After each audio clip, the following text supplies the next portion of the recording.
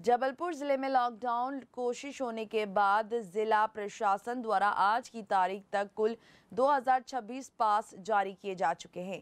ये पास किसी की मृत्यु होने की वजह से या फिर मेडिकल इमरजेंसी के लिए जारी किए गए हैं। जिला प्रशासन का कहना है कि पास सिर्फ़ जाने के लिए जारी किए गए हैं। वापस आने के लिए किसी को भी कोई पास नहीं दिया गया है। उनकी क्या स्थिति अभी तक कितने पास जारी किए गए हैं? हमारे द्वारा अभी तक टोटल उस दिन से लेकर 226 पास जारी हुए हैं जी। अभी, अभी किस तरह के लोगों को दिए जा रहे हैं? बस अभी केवल जिनके परिवार परिजन की डेथ है या अति गंभीर हो ऐसे ही कंडीशन में हम पास दे रहे हैं।